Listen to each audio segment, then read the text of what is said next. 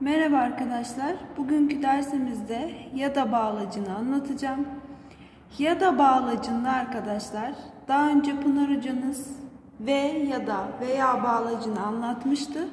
Ya da bağlacında ise bileşenlerden sadece biri doğru iken doğru, diğer durumlarda yanlıştır arkadaşlar. Bu ne demek? Şimdi bileşenlerden biri doğru iken doğru. Yani arkadaşlar her ikisi birbirinden farklı ise sonuç birdir. İkisi birbirinin aynısı ise sonuç sıfırdır arkadaşlar.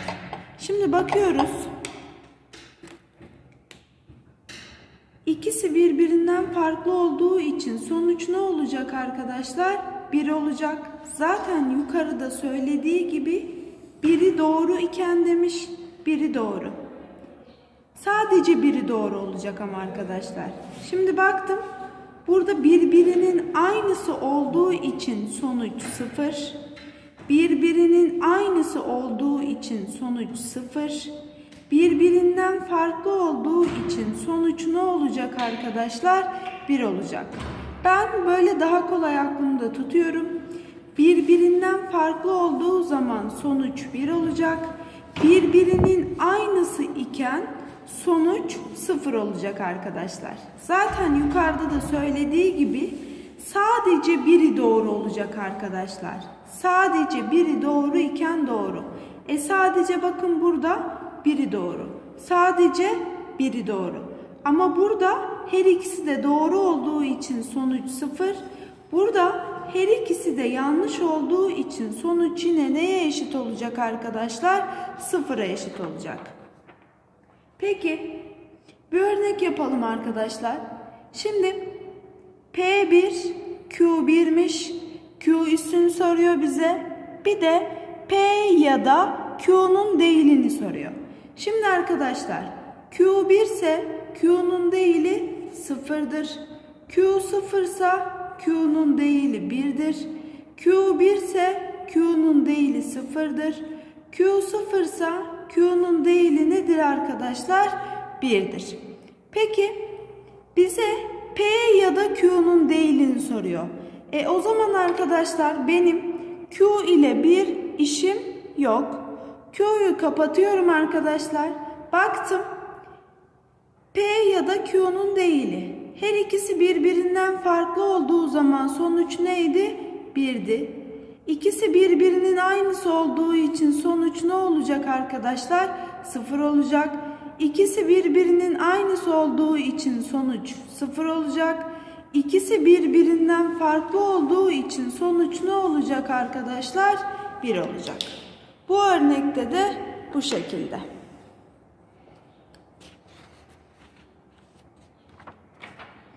Şimdi arkadaşlar geldik ya da bağlacının özelliklerine. Ya da bağlacında arkadaşlar önermelerin yerlerinin değiştirmesi, yerlerinin değiştirilmesi sonucu değiştirmez. P ya da Q önermesiyle Q ya da P önermesi aynı sonuca çıkar. Bu değişme özelliği olduğunu gösterir arkadaşlar. Peki başka bir özelliğe bakalım. P ya da Q ya da R. Yani siz önce P ya da Q'nun sonucunu bulsanız, daha sonra R, R'yi ekleseniz ya da önce Q ya da R'yi yapsanız, daha sonra P'yi ekleseniz herhangi bir şey değişmez arkadaşlar. Yani ya da ya da bağlacının birleşme özelliği vardır. Parantezi ister 1 ile 2'de yapın, ister 2 ile 3'te yapın. Herhangi bir şey değişmez. Bu da ya da bağlacının birleşme özelliği olduğunu gösterir arkadaşlar. Sıra geldi üçüncü özelliğimize. P ya da P demiş arkadaşlar. Bu ne demek? E P 1 ise her ikisi de 1. E ya da bağlacında her ikisi aynı olduğu zaman sonuç sıfır çıkmıyor muydu? E her ikisi de P olduğuna göre sonuç ne çıkacak? Sıfır çıkacak arkadaşlar. Peki sıra geldi dördüncü özelliğe. P 1 ise P'nin değili sıfır olacak. P sıfırsa P'nin değili 1 olacak. Yani her halükarda bu ikisi birbirinden farklı olacak arkadaşlar. E bileşenlerden her ikisi birbirinden farklıysa sonuç neye eşitti? 1'e eşitti. Şimdi arkadaşlar bir örneğimiz var. Hangileri doğrudur demiş. Az önceki özelliklerden yola çıkarak her ikisi birbirinin aynısı olduğu için sonuç sıfır çıkmış. O zaman bu nedir? Doğrudur. Aklınızda tutamıyorsanız arkadaşlar P'ye değer de verebilirsiniz.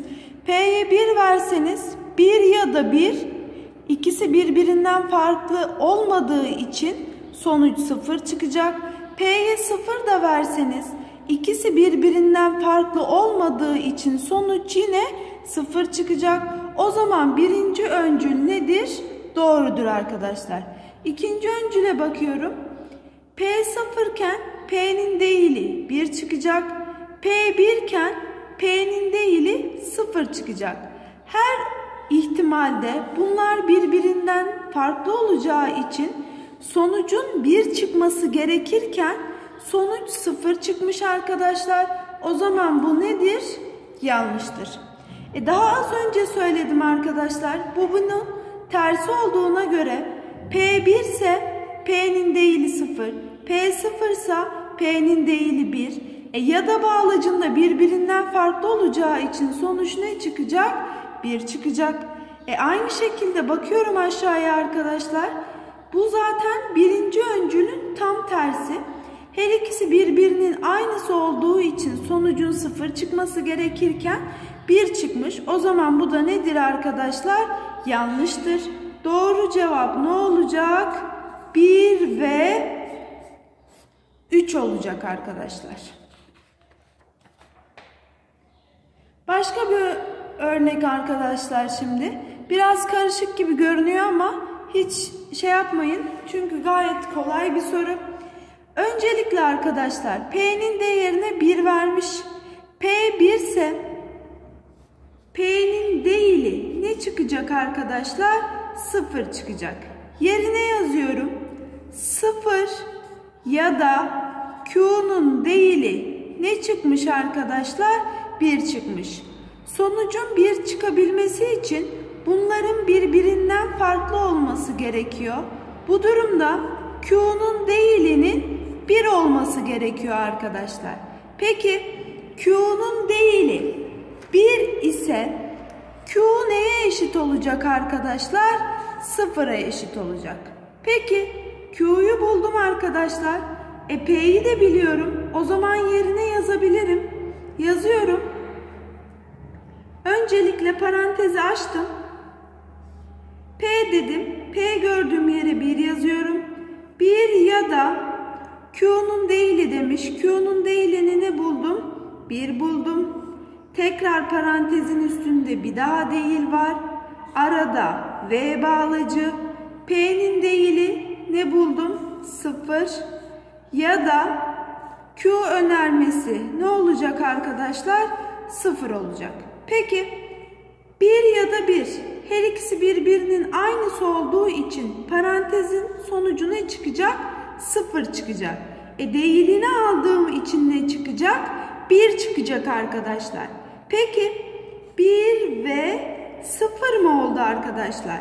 E V bağlacında içinde 0 varsa sonuç 0'a eşitti. Bu parantezin sonucu 0 çıktı. 0 ya da dışarıda ne var arkadaşlar?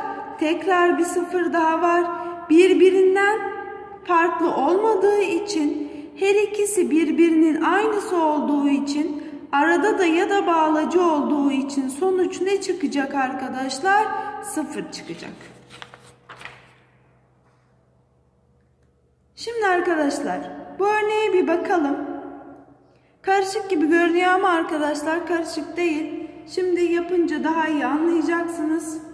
Sıfırın değili. Sıfırın değili bir arkadaşlar. Bir ya da bir. Yazıyorum bir ya da bir. Arada V bağlacı var. P ya da Q ya da şimdi buna bakalım arkadaşlar. Ya da bunlar birbirinin tam tersi olacağı için birbirinden farklı olduğu için sonuç ne gelecek buradan arkadaşlar? 1 gelecek. Peki devam ediyorum. 1 ya da 1 demiş. 1 ya da 1 birbirinin aynısı olduğu için sonuç 0 gelecek arkadaşlar. E buradan bir ne geldiğinin bir önemi yok. Çünkü arada V bağlacı var. Buradan ne gelirse gelsin. Şimdi diyebilirsiniz ki biz P'yi, Q'yu bilmiyoruz. P'yi, Q'yu bilmiyoruz ama burada sıfır olduğu için ve V bağlacı olduğu için buradan her halükarda ne gelecek arkadaşlar? Sıfır gelecek. Sıfır ya da bir mi kaldı geriye? E birbirinden farklı olduğu için ya da bağlacında sonuç ne olacak arkadaşlar? 1 olacak.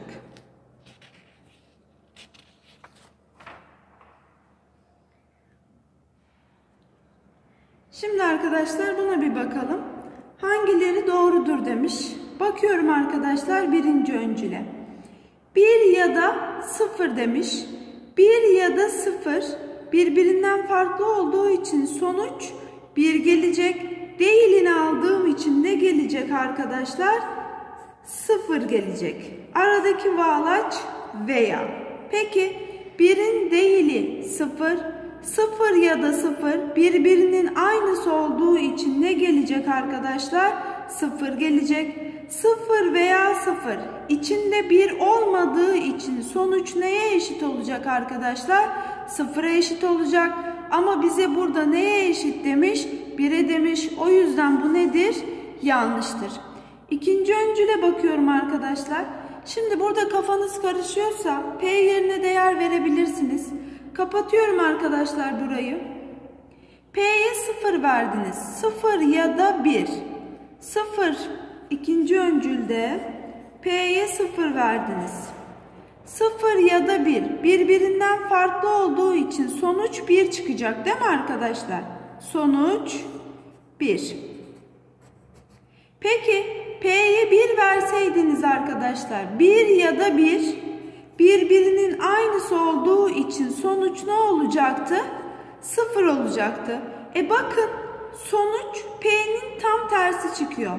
P 0 iken sonuç 1, P 1 iken sonuç 0. E bu durumda neye eşit olması gerekiyor? P'nin değiline eşit olması gerekiyor. Bu da doğru arkadaşlar. Peki P yerine 0 verdiğimde arkadaşlar 0 ya da 0 birbirinin aynısı olduğu için sonuç 0 çıkacak. 1 verince birbirinden farklı olacağı için 1 çıkacak. Yani P'ye eşit çıkacak. O zaman 3. öncülde doğru arkadaşlar. En son 4. öncüle bakıyorum arkadaşlar. Şimdi burada P üstüne 0 verirsem arkadaşlar sonuç ne çıkması lazım? 1 çıkması lazım. P üstüne 1 verirsem sonuç 0 çıkması lazım arkadaşlar. Yani P üstünün tam tersi. Yani P çıkması gerekirken burada 0 çıkmış. Bu durumda bu da nedir arkadaşlar? Yanlıştır. Hangileri doğrudur diyor? 2 ve 3 arkadaşlar. Son olarak bu sorumuza bakalım arkadaşlar. P ya da P demiş. Burada birbirinin aynısı olacağı için ya da bağlacında sonuç ne gelecek arkadaşlar? 0 gelecek. Peki aradaki bağlaç V. Q ya da Q üstü demiş. Biri sıfırken diğeri bir, biri birken diğeri sıfır. Birbirinden farklı olduğu için sonuç ne gelecek arkadaşlar? Bir gelecek. Ama buradan bir gelmesinin bir önemi yok. Çünkü V bağlacında içeride bir tane bile sıfır olsa sonuç neye eşittir arkadaşlar? Sıfıra eşittir. Bugünkü dersimiz bu kadar arkadaşlar. Başka bir derste görüşmek dileğiyle. Hoşçakalın.